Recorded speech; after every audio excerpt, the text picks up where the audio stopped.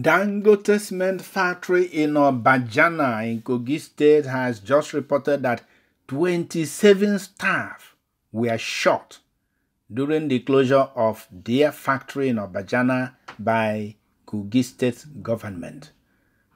Wow, this is very huge. 27 persons shot.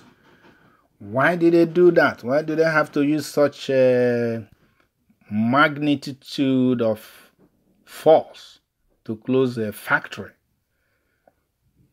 Very unbecoming. And um, we will get the details of how it happened, which staff were involved, and the rest of it. But before then, please, please like our video by giving us a thumbs up, share this content, and then subscribe to our channel if you are new here.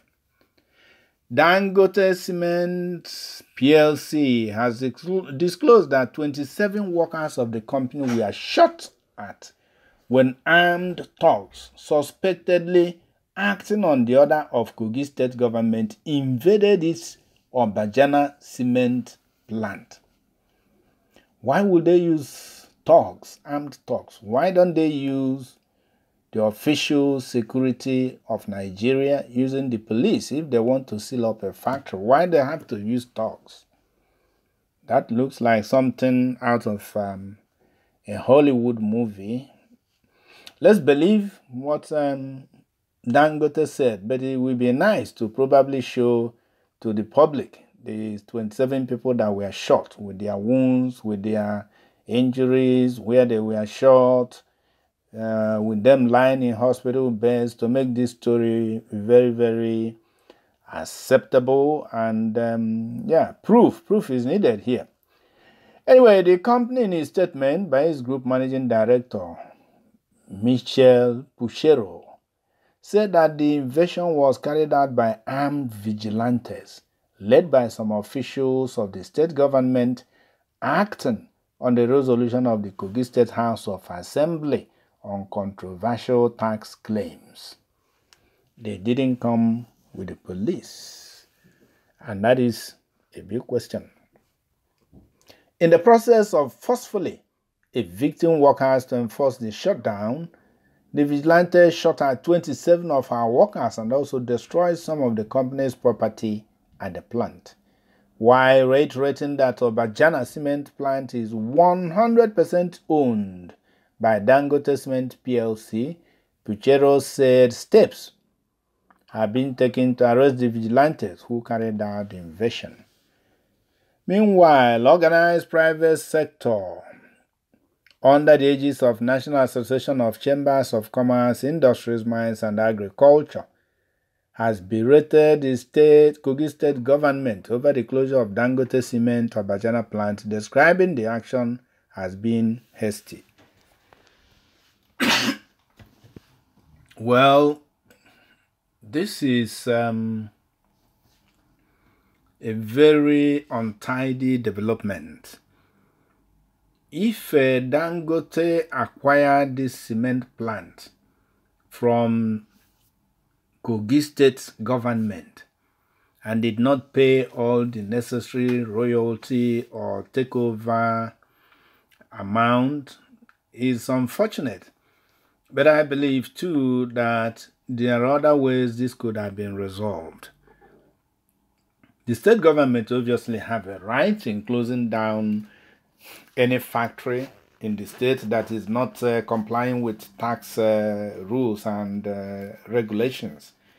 Uh, but the manner in which those companies are closed is also uh, very important because in some places, all they need to do is to come and put a notice. And um, if they require to seal the company, they don't even need to go inside. It's just to send one person in or two and tell everybody to come out and escape within minutes. Otherwise, the company will be sealed from outside and nobody can come out anymore and nobody will go in. You can come out, but you will break the seal, and that will be a total uh, uh, breaking the law. So I don't know why they needed um, uh, to use force to force people out, and again using state vigilante, which wasn't necessary. I don't know if uh, Dangote Cement in Obajana, if the factory runs 247. If it doesn't operate in the night, the state government can quietly wait for the workers to go home. And when they are gone, they move to the place. They will find only security, show them a court warrant, and just seal the gate of the factory. People will turn up for work in the morning and find out that the place has been sealed, and they cannot break the seal because if they do, they will be heading to jail. So there are easy ways, very easy, simple ways to do this. But um, Nigeria being what it is, people like uh, to show power. We are in charge. We are from the state government. We will close you now. If you argue, we shoot at you. And by the way, what gun did the so-called vigilante use to shoot at uh, Dangote workers? That is very shocking and disappointing that they did that, if they really did it. So it's unfortunate, and the Kogi state should also tread carefully, and Nigeria as a whole, because this is a private venture and this PLC, public limited liability. I'm sure that Kogi state citizens are also owning shares in a Dangote factory.